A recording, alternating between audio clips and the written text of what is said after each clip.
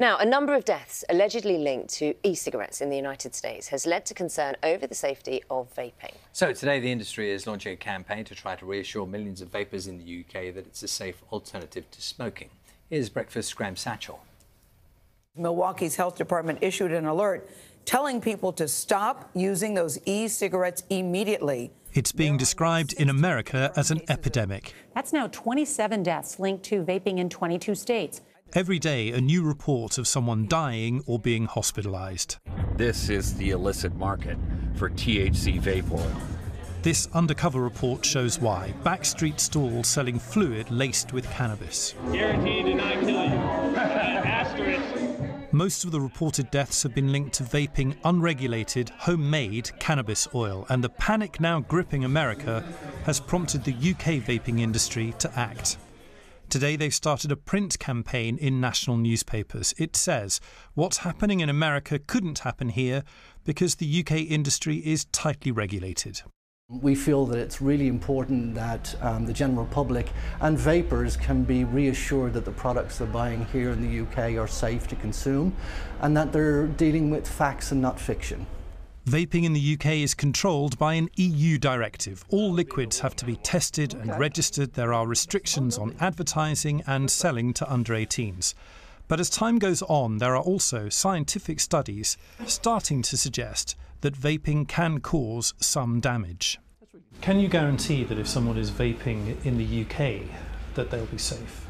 What I can guarantee that if you, are using vaping to get off smoking, that it's far less harmful for you to vape than it is to smoke. But nothing that we do in this world is 100% safe. So this is your husband? Yeah, this is Terry. Glynis's husband was 57 when he died in 2010. He'd smoked since he was 15, but in the last year of his life he switched to vaping. He became ill and was admitted to hospital. Doctors discovered oil on his lungs he was diagnosed with lipoid pneumonia. His lungs obviously were damaged through the smoking, but using the e-cigarette, he was very susceptible to pick up other things, and I think that was, how can I put it, the straw that brought the camel's back, as far as like, um, so yes, in effect, at the end of the day, it was the oil, the e-cigarette that done it. It, it killed him.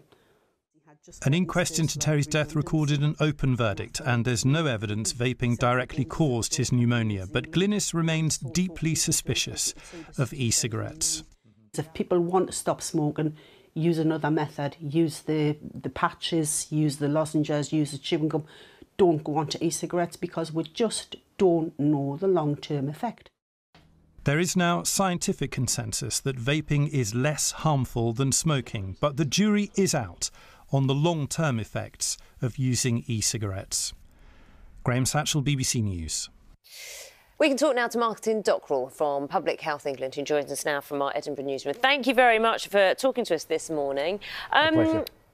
I suppose the you know. Eh, people are now asking when they see all these reports in the US and they see they see um, what's been happening, is vaping safe? Well, you can understand why people are in such a panic from the way the, the stories come across from the US. But as your clip made really clear, this is uh, not uh, an outbreak associated with uh, the regular kind of nicotine e-cigarettes, but more kind of um, e-joint, cannabis vaping, which is, which is very different. So we've had about 26, 27 deaths from cannabis vaping in the US in the last couple of months. Um, we have uh, had no deaths at all associated with uh, re the regulated e-cigarette products that we have in the UK. About um, the more than 1,000 cases of a lung illness which has been linked mm. to vaping by US health authorities. Really, really serious, but linked to vaping cannabis uh, products. And, and that is a concern. Um, and it's uh, something that we're keeping under tight um, tight scrutiny here in the UK too. Well, to be fair, investigators haven't linked the illnesses to any particular product or compound. They did say vaping oils containing THC, which is the psychoactive ingredient in marijuana, poses a great risk, but they haven't linked it yet. Well, well, what, what, they have done is they've uh, they see a very clear pattern of uh, who's at risk, and so right from the start, it was very clearly uh, young, men, largely men who uh, were reporting vaping uh, cannabis products. It doesn't seem to be related to the 9 million adult uh, US uh, vapers of, of, nicotine products.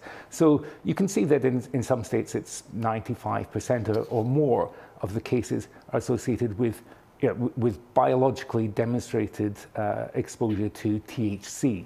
So it, it really. I, I, really don't. I really want to stress. I really do want to stress that the Centre for Disease Control, Disease Control and Prevention, the CDC, has advised people, and it hasn't made specific. It's it has said it's not linked the illnesses to any particular product or compound, and it has well, said that, that's quite right. And it has advised. So not just THC, but it has advised people to stop using vaping products or e-cigarettes, and this is the crucial bit, regardless of whether they contain nicotine or marijuana.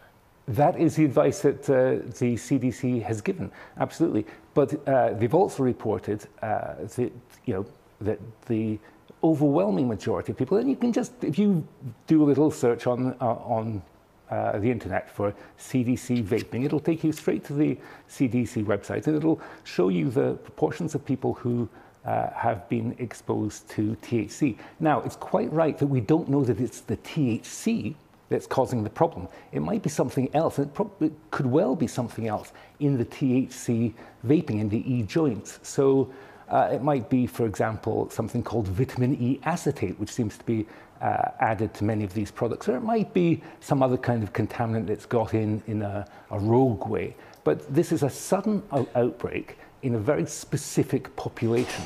And it's really very different from the kind of uh, thing we're seeing in the UK. So it's really important in the UK to focus on the real risk. And the real risk is not in uh, nicotine containing e cigarettes, regulated much more strictly in the UK than in the US.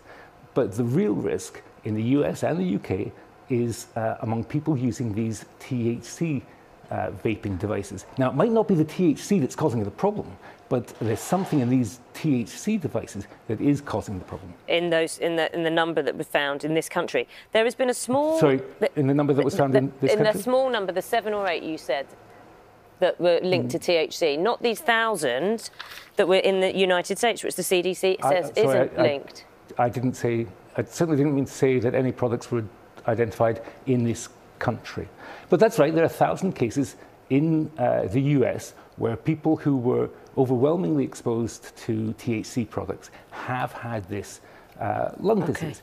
And that's very different from the situation in the UK and from uh, nicotine uh, e-cigarettes, which are regulated by our medicin, uh, medicines regulator, the MHRA. You... So it's much more tightly regulated in the UK than in the US. Okay, as the tobacco control lead for Public Health England, when you, um, and I imagine you are told about all, all um, studies that are, are, of significance. There has been a small lab study where UK scientists found that vapour could lead to changes in the lungs' immune cells. Mm. The fact is, isn't there, that there is a risk. There is some risk when it comes to smoking e-cigarettes. So to prom- for them to be promoted as a safe alternative to smoking cigarettes, well, perhaps always, isn't the wisest advice, is it? Tell me. We, we've always said that e-cigarettes are not completely safe, but far, far safer than smoking. And so, you know, the BBC kindly sent uh, a cab to pick me up to bring me to the studio this morning. That wasn't completely safe. Obviously, there are risks uh, in road traffic, but um, it's so with e-cigarettes, not 100% safe. But remember, 28 cases, I think, of 28 deaths in the US.